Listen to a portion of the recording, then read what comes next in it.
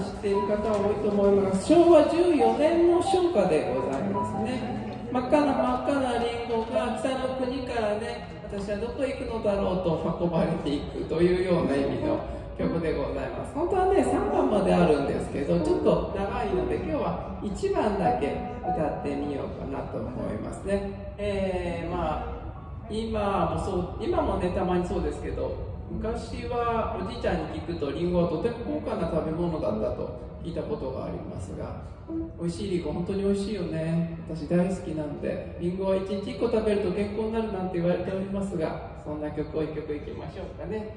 タッタタンタン。はい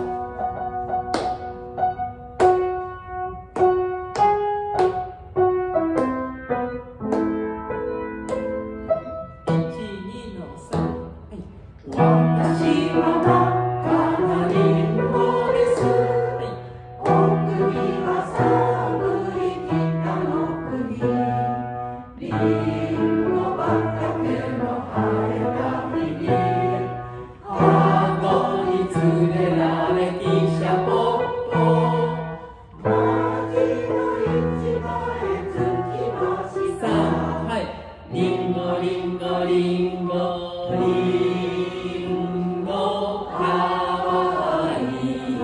Amen.